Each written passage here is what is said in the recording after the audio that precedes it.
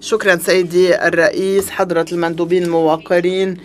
إن تغير المناخ هو تحد عالمي يستدعي التعاون بين كافة الدول والأمم والشعوب.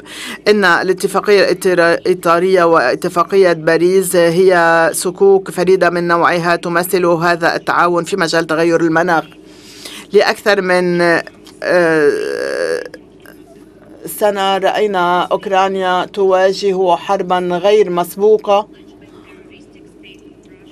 من قبل روسيا عدوان من قبل روسيا على أوكرانيا. هذا الحرب هذه الحرب هي حرب ضد أوكرانيا كأمة وشعب واقتصاد وحتى هوية أوكرانيا. وهذا سيكون لديه آثار ليس فقط على أوكرانيا ولكن على القارة الأوروبية والعالم أجمع.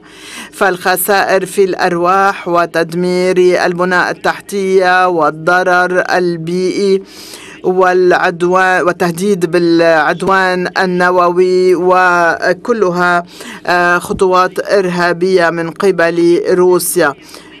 الاحتلال غير القانوني لأراضٍ أوكرانية إنما يقوض مصداقية البيانات آه، المرفوعة إلى الاتفاقية اليو اف سي سي سي أوكرانيا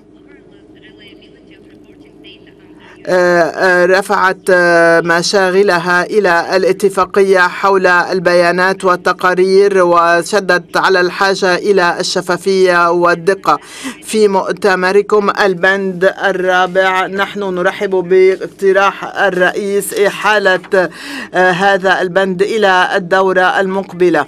هذه الحرب تقوض مصداقية الاتفاقية واتفاق باريس. هذه الحرب تحد من حقوقنا في التنمية المستدامة وقدرتنا على التصدي للتحديات تغير المناخ وتقوض أيضا المبادئ الأساسية للتعاون الدولي. نحن بحاجة إلى التعامل مع ذلك بعد عودة السلم وسلامة أراضي أوكرانيا إلى بلدنا أوكرانيا. شكرا سيدي الرئيس.